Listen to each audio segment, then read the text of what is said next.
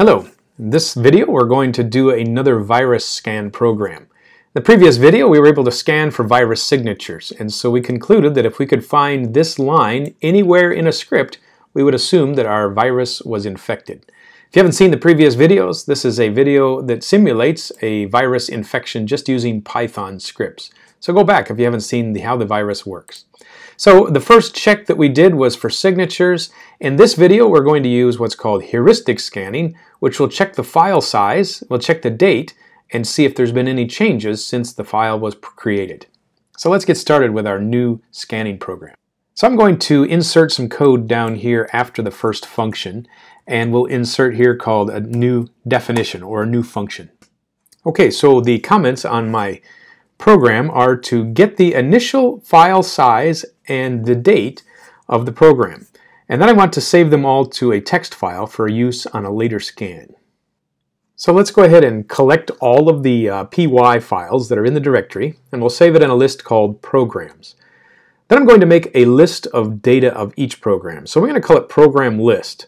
Each line will contain three items. It'll have the file name, it'll have the file size, and the file date modified. So we'll go through and make those uh, collections right now. So each P in programs is our for loop. So the first thing we already have is the program name. That's stored in the variable P. However, we want to grab the program size and the program modified. And I did a little research to find out how Python does that. With Google searching, you're able to find out that there is a, is a, is a library called OS. And you can simply choose the word path dot get size and then the file name. Now to be able to use OS properly, we have to import it. So let's go to the top of our imports again, and I'll add OS to my list of imports. So now I can use OS path get size, and I know how many bytes this file size is.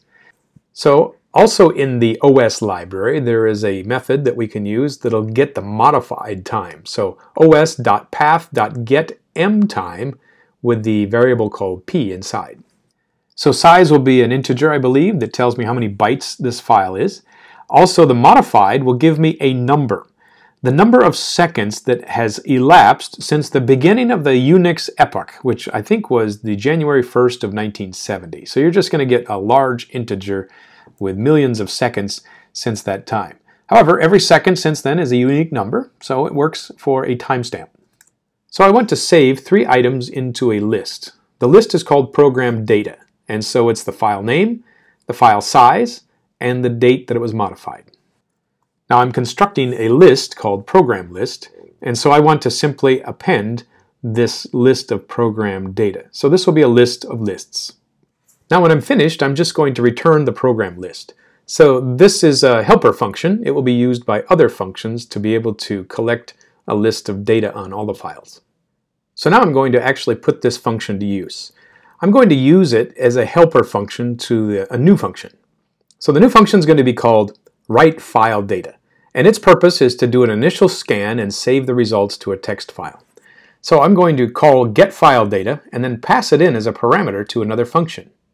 Well, let's make the other function now. So the function obviously to, has to be named this. It's called write file data. And the uh, list that it's expecting is a list of programs. So the data that this, this uh, function generates will be passed in, and then we'll save it to a file. So we'll use the with statement. So with, or while the uh, file is being opened, we will uh, specify the file name here and then create the uh, W tag, which means it's going to be opened with a write access. So I'm going to introduce another library. So I did some research and there is a library called CSV can find it online if you Google it.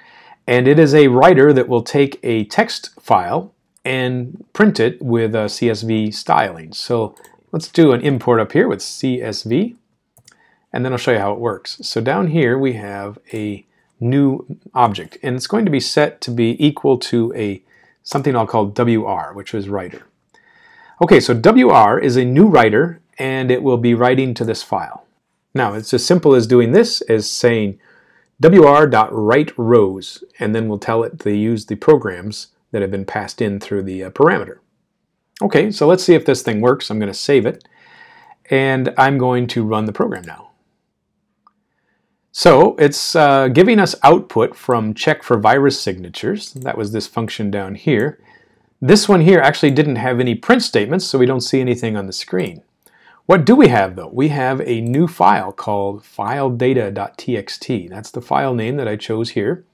And let's see what it wrote. Let's see, we need to bring up the size. So now you can see the results of our file. We have uh, four different file names.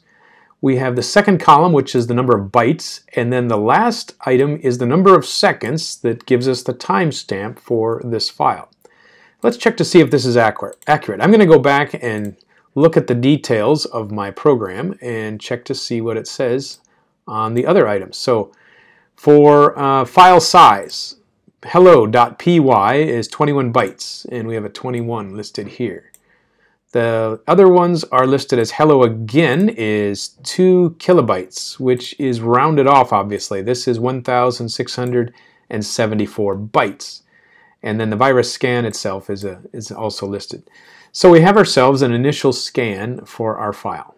Now there's one other issue here that I'd like to correct, is that uh, every time we run our virus scan, this will create a new copy of our text file. So this will be overwritten. So I'd like to check to see if this already has been done. The initial scan only needs to be done once. So let's put in some new text here in the uh, statement right before the uh, open file for writing. So I want to check to see if this pathway exists, if this file exists. If it does, then we will just do a return statement. So return will exit the function and it won't do anything more. However, that's uh, kind of like an else statement now. So if the else part comes, then it'll continue to write. So let's check to see if this works. So right now I have data that tells me that uh, hello 21 is the uh, first line of data. So you can see it's 21 bytes. Well, let's go in and modify hello and put in some more stuff. So I'm going to put in a few more bytes in the center and save the changes. So now what are the bytes? It says 34 bytes. If we run the program again and uh, it uh, checks to see if everything's good, let's see what happens now. So if I say we have 34 bytes and we have uh, originally 21 still printed, so it did not overwrite the original text file. Let's throw away the text file and run the program again to see if it recreates it for us. And it should. Okay, we'll close here. And the text file now says that hello is 34 bytes long. So that matches here. Okay, so it appears that this only works the first time we uh, run the program. After that, it won't create this text file twice. Okay, so now we have this text file created. It's time to use it to check to see if any changes have been made since the initial scan. And that's what we'll do next. All right, it's time to make a new function. I'm going to call it check for changes. And then I will print out a message to the terminal so we can see what's going on here. It'll tell us we're checking for heuristic changes. And then once again at the end of the function, I'm going to tell it I'm finished checking for changes. So here's the strategy. I want to open up the text file that we created in the first scan and now compare each line in that file to the current size and date of the files that are in the directory. And if we find a change, then we know we've probably been infected by a virus. So a way to get all the lines out of a text file like this is to use a uh, file reader again. And we will take a function called file.read and we'll use split lines. So this will cut up all the lines into individual items in a list. All right, so the next part's a little tricky. We need to convert a list of text items into an actual list. So I want to um, take the original file list and make it a um, you know just an empty set. And then for each item in the file list, we're going to split them. So each each line will be split by a comma delimiter. And then so the items will be the name, the file size, and the uh, date. So the original file list of the files in the original scan, we'll call it, is going to be stored in this, uh, this array here. Okay, so the next goal is we have to go get the current data from the directory as it is now, and then we can compare the two lists. So I want to get a current file list. Where am I going to get that from? Well, fortunately, we created the function up here called getFileData. So I can simply just call this function down in this other place right here. So this will return a list of what currently exists in our directory. So the goal now is to compare the old items against the current items and see if there are any differences between the two. So we're going to have to use a double for loop again. I want to go through each file in the current list and to see if it exists in the original lists. And so it's like a, a for inside a for. So now we can check to see if item 0 in each list is the same. So if the current 0 is equal to the original 0, then we know that the file names match. If the file names match, then we can go on and check to see if the other items match. So the first check we're going to see is if the uh, file sizes match. Remember the item in the second column is the file size, and we want to double check to see if one is equal to the other. Now I believe that we have a problem that in one file format the, uh, the file size was saved as a string and the other one was saved as an integer. So I'm just going to make sure that I'm comparing strings to strings. So string of one compared to the string of the other. So while I'm doing the if statement, I'm also going to check to see if the other items do not match. So you might recall that the uh, second item, or I guess this would be item three on the list, is the, is the stamp of the uh, date. So we'll also check to see if these uh, strings are equal to each other. So in my comments, I will also update to say file sizes or dates do not match.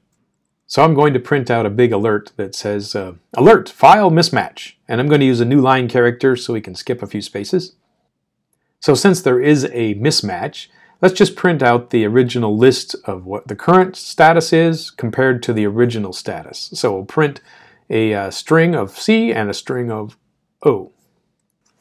Okay, the last step is to say if we uh, if everything matches, there's no problems, then we'll just say file um, appears to be unchanged. Okay, so the last thing we have to do is actually call this function. So down here after check for signatures, we're going to call this new function which is called check for changes. So I'll call that down at the last.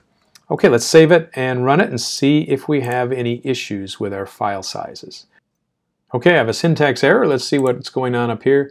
On this line here, oops, I put the parentheses in the wrong spot. So Let's try that one there. So now we have open with the file name here. Okay, let's save that and try again. Let's see if there's any more errors. I certainly have the errors. Okay, so what did I do here? So I forgot my colon at the end of the if statement, so we'll put that in and run it again. Now what?